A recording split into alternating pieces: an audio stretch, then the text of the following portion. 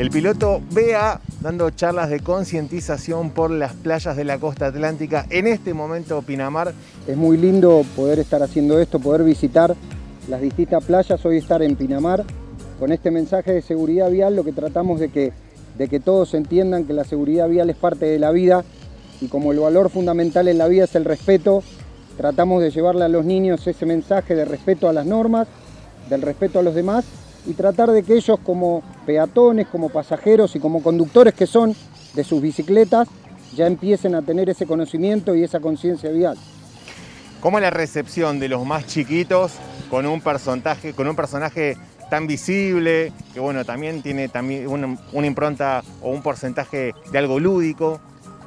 No, la verdad que es muy bueno. Ellos se, prestan, eh, participan, porque la idea también es que participen de la charla. Ellos se les va preguntando y van participando activamente. Así que la recepción siempre es muy buena en cada lugar y los niños son muy puros.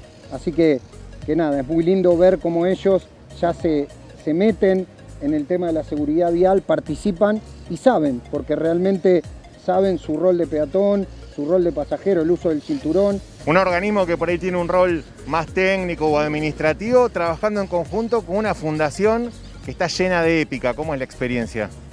Bueno, para mí que soy un, fanático del automovilismo de, toda la vida, es muy lindo estar haciendo esto con, el Museo Fangio, por los mensajes que siempre transmitió Fangio del respeto a las normas, de, sus consejos.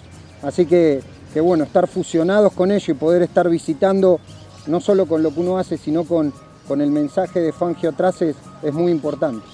Para los chiquitos que hoy no vinieron a la playa, no están en la charla, te pido tres o cuatro recomendaciones que le digan a los que nos están mirando desde casa. Tenemos que entender que la seguridad vial es parte de nuestro día. Eh, de alguna forma participamos todo el tiempo en la seguridad vial como peatones, como pasajeros, como conductores. Entonces lo que tenemos que comprender es que las normas nos ayudan a una mejor convivencia y la base es el respeto.